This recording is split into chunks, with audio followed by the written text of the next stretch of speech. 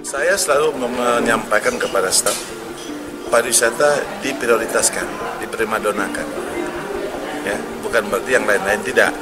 Kalau kita bicara masalah e, berdana, pendidikan Rejang Lebong itu 33 persen dananya kita gunakan. Sedangkan standar pemerintah pusat kan 20 persen.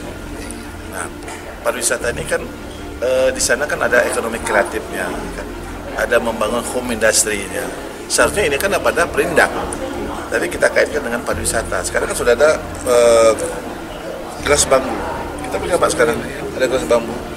Sudah ada. Jadi salah satu uh, untuk promosi ya kita uh, akan kaitkan ke pariwisata dan dana cukup besar kita kelontokan untuk pariwisata dalam membangun uh, potensi dan menggali potensi destinasi wisata yang ada di Rejang Pak peninggalan budaya di Rejang Lebong ini kan tentu sangat banyak. Ya, tiga saja bisa Bapak sebutkan yang memang punya potensi bagus. Seperti tadi pernah Bapak singgung batu betiang, apa upaya uh, pemerintah ke depan Pak untuk memaksimalkan potensi-potensi ini Pak? Oke.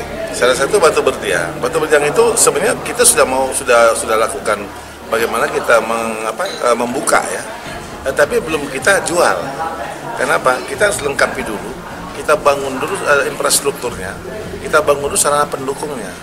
Nah, kalau ini sudah kita bangun infrastruktur jalan lokasi dan sarana pendukung sekitarnya baru kita jual supaya orang datang tidak kecewa. Bahwa sekarang Bapak ini, beliau ini kepala balai, Pak ke tempat kita Pak di mana Batu Petir? Ayo, ke sana. Ojo ke sana. Udah tuh hutan berantara ini gimana ini? Nah, artinya kan kita belum siap. Nah sekarang kita menjual itu barang udah siap. Itu salah satu. Kedua kita kan e, sejarah itu Gunung Kaba.